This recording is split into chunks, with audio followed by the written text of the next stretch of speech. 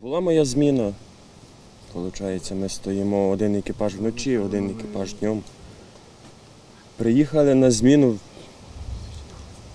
Почали, хлопці стояли теж з нами, ПЗРКшники. Так зробили, що то есть, екіпаж ПЗРК і екіпаж то есть, стріли. Типа совмісно.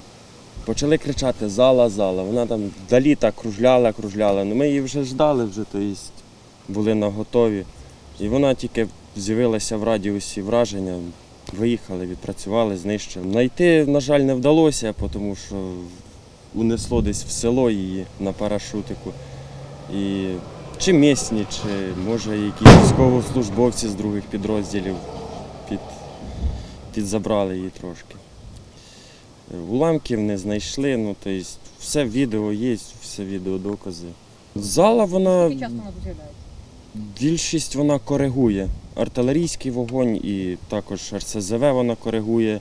Е, Також вводить на постой, вона вводить е, ланцет. Ми тільки по ній почали працювати, вже виїхали на бойову, е, то почали зразу по сусідній посадці приходи градів. Тобто, можна сказати, предотвратили виконання бойового розпорядження, чи як там у них рахується, я не знаю. Перед цим був Орлан, але Орлан він дуже високо літає.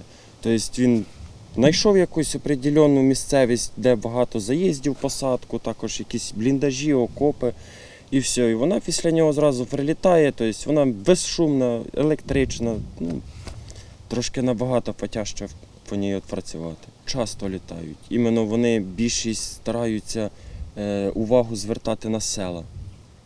Іменно вони біля сел це тусуються, біля якихось вопів. Чи... А чому біля сіл? М, Тому що там, як зазвичай, саме більше скупчення військовослужбовців. Ну, машина предназначена вона для низьколітаючих об'єктів, тобто невисоких. І дуже тяжко, звісно, з нею працювати по, маленько, по маленьких габаритах. Іменно вона предназначена вертольот-самольот на низьких висотах, але як вказується, то дуже хорошо і дуже дієве. Можна під'їхати поближче до передка відпрацювати. Капець, я просто все нажав, очі закрив, ракета полетіла, я так раз за кукушки виглянув, все, дивлюся, так чітко ракета, бам! Вибіг одразу, ура! І там аплодисменти, молодець, красавець, там гордимось, там, ну капець, капець, сам само аж ніс піднімається. Ні, взагалі, от скільки ви, ви от скі- на фронті, да, от саме ви, скільки взагалі збили безпілотників? Одного. Одну, да? Да. Це була ваша Да, така да. ціль бійного Початок можна сказати. Слухайте, а скільки ви на фронті? З першого дня війни. Так, а що ви так мало А що? безпілотників збили? Ну, розумієте, не кожен раз вона буде підлітати на таке розстояння, що мені треба. І не кожен раз дозволяє погода теж відпрацювати. Тому що зараз таке, як це небо, воно дуже погане, тому що немає навіть за що зацепитися, іменно що оком. От, наприклад, я її побачив там, от все, я знаю, що вона там. Я залажу, от і все, я її вже там буду довше шукати. Тобто, якщо б була хмарність, то я б міг би зацепитися іменно за хмару, і я все, я вже знаю, що от ото определенна хмарка, допустим, там край, лівий, правий, нижній, верхній. Тобто набагато простіше. Да і мгла, вона іменно, коли летить на висоті 2, ну, 2,5 кілометра, вона все, вона розтворяється, її навіть не видно. Була погода ідеальна. Яка Серйозно. Ну, хмурна, хмурна, хмурна була. Іменно хмарки такі.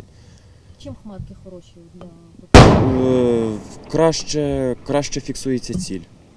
Тобто, е, іменно головка вона е, чітко захвачує. Тобто не так, що воно там щось очами, то ти її бачиш, ну, понятно, що головка її ну, не буде бачити. В зв'язку з тим, що тут помен... ну як поменшили військ, Вагнера вийшли, в зв'язку з тим, от е, зміна якась е, кількості безпілотників, ви помітили? Чи Ні. тобто їх як було багато? Як була і т- інтенсивність, так і залишилась. Нічого не, не, не побільшало і не поменшало. Кожен день, наскільки я розумію. Кожного дня, так. Да. Очі гарні мати. Зір? іменно зір, іменно очі, просто капець. От теж е, дядьки, яким по 45 років, він, він стоїть, він близько нічого не бачить, а він її бачить іменно цю залу, яку я тільки можу побачити в бінокль, і яку я її не можу просто фізично ну, розгледіти навіть очима. А він стоїть каже, ну до вона летить. Я просто капець, буває таке, що ж якось самооценка падає, що лі. Ти розумієш, що ну як дядько може краще бачити, чим ти. Ну, за останній тиждень ситуація більш-менш стабільна. То були три дні таких напружених, коли наші е, війська проводили активні дії, а зараз більш-менш стабільно. Виїздів як таких ну, є, але не так інтенсивно, як було. Стабільно Ні, я маю на увазі стабільно зменшилось. Кількість поранених. Так, так, так. Це останній тиждень, за останні два тижні. Яка з за який період зменшилась кількість Ну за цей тиждень. За, за тиждень близько. Кажу, були 3-4 дня, що було багато, тобто наші проводили активні дії.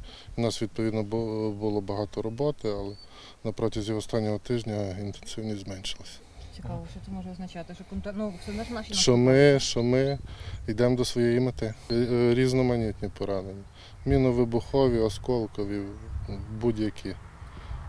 Ну, у вас же ще ж унікальна медслужба, то що у вас же ж фактично стабік на колесах. Ви Так точно. Те, що Так, багато так, речей так. можете на ходу робити. Так, ми і Що робимо. доводилось та- то- тоді і робити? Ну, і дренували грудну клітку, і інтубували, коли важкий хворий, наші реаніматологи інтубали, інтубували, під ключичку ставили, стабілізували. Тобто, який був, був один пацієнт, який був ну, при смерті такий, але слава Богу, наші анестезіологи його врятували, спасли, довезли. Ну, відбувалося, що надавали на місці передачі допомогу.